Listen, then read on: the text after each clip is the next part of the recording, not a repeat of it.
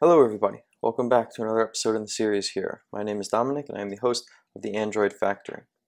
Last episode we went ahead and finished up our mapping layer here to go ahead and make use of the episode mapper, passing in our episode response from the API, and we just simply map the uh, response to a domain model, and now that fills out on our character domain model the episode list here that we have a list of episodes, which is pretty simple, right? It doesn't have too too much uh, information here, some name, air date, and then uh, episode. It's a weird thing, but it's like season 01, episode 01 kind of thing.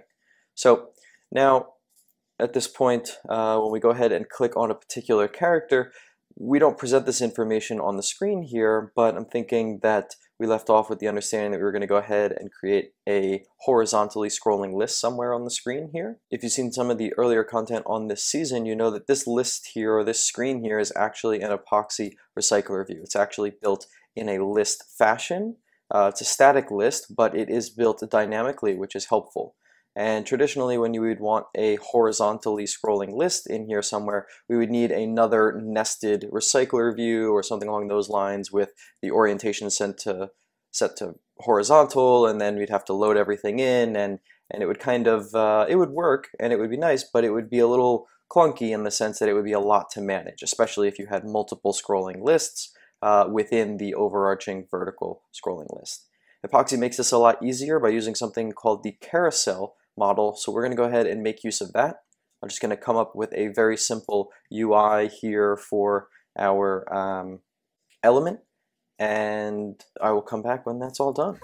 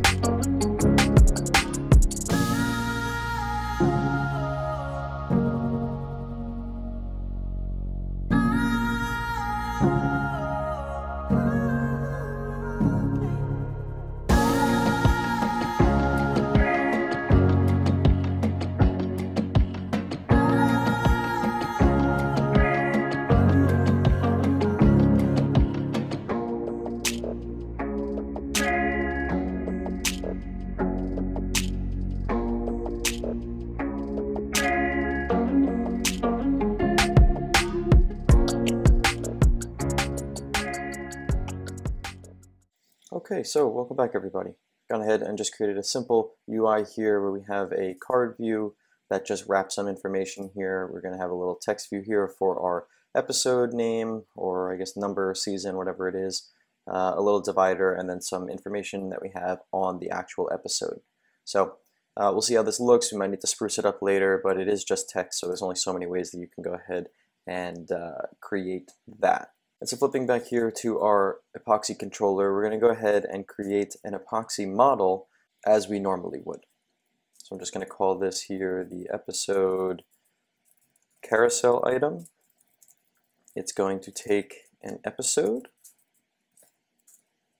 and then we are going to extend our view binding Kotlin model, which has the view binding of the model uh, episode carousel item we feed it the layout that it's expecting, and then we override our bind function here. So very simply, just linking up the data to the UI here. I believe it was called episode text view dot text equals episode dot episode. This is a little weird. I don't like the name of this field, but hey, we'll deal with it.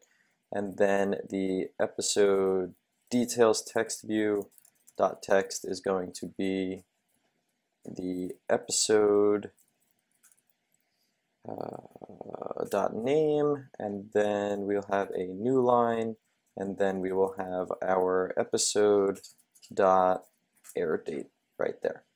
So we'll end up with hopefully something that looks like this with a little bit better uh, name there.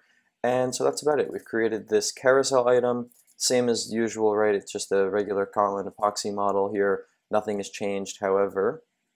instead of going ahead and adding our information to the epoxy model this way, we can go ahead and make use of the carousel item.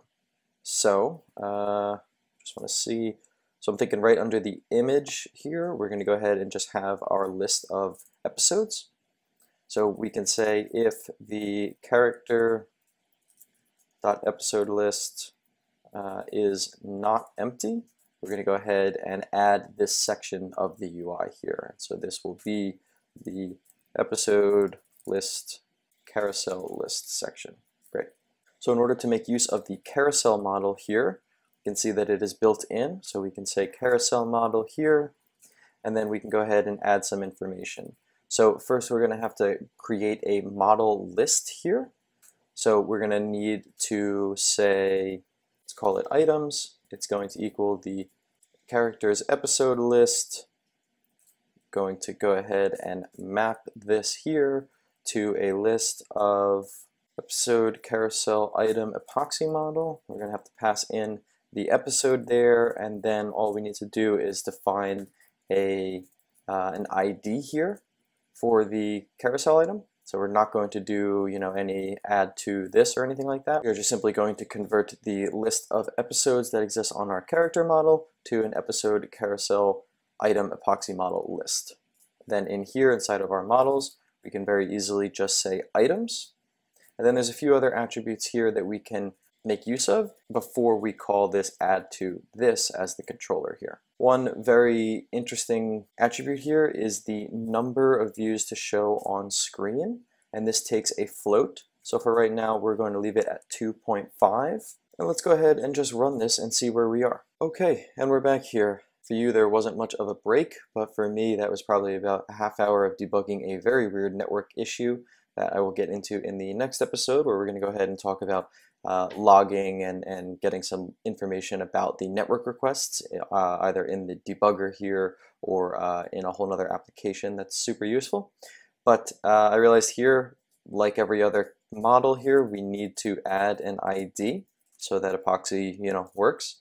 Um, so we're just going to call this here the episode carousel and then we're just going to rerun some things here. But yeah, the important thing here is essentially we're adding one particular model. That's why we need the ID.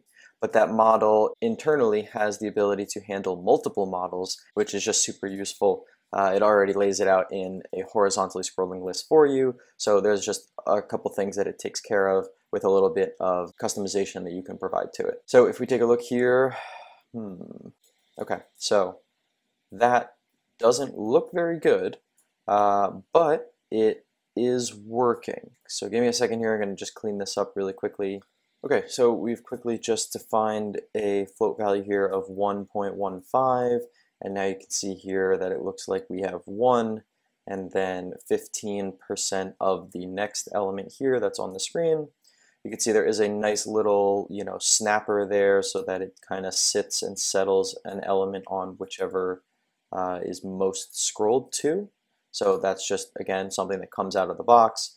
You could see that you can definitely fling it. Uh, you probably fling it a little bit better if you weren't on an emulator, but uh, then it just settles to a particular view here.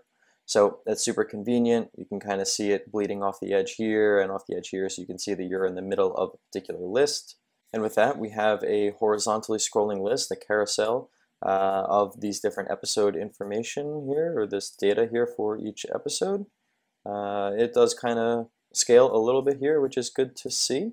Uh, but obviously we can come up with a little bit better of a UI here. I just threw something together because I didn't know what else to do or how else to present it. So we're going to run with it for now. Uh, one thing I do want to kind of add is a little header element here and maybe push it down from this element above. So let me just clean that up for you. Okay, and with a little bit of work here, we've gone ahead and added a title epoxy model where we can just very easily uh, denote what text we want to display. And it's just quite simply a text view that sits here with a little bit of padding and whatnot. Or margin excuse me to move it from the left and top. So now it's starting to come together. It kind of looks more like a UI and you can see here it's kind of its own designated section. So that's uh, that looks good. Yeah I think I'm gonna end the episode here. If you're enjoying the content please leave a like I do apologize that this isn't the most beautiful thing to look at here as far as in the UI goes, but it is uh, a horizontally scrolling list. It does present this information, and I think we can kind of you know handle an on click here per episode to go to another episode detail screen if we wanted to, uh, and then do something there with a little bit more networking and, and data modeling and stuff like that. So again, please leave a like if you made it this far. Really appreciate it. Do subscribe if you are not already so you don't miss out on the content that is to come. And uh, yeah, I'll catch you in the next one. Thanks.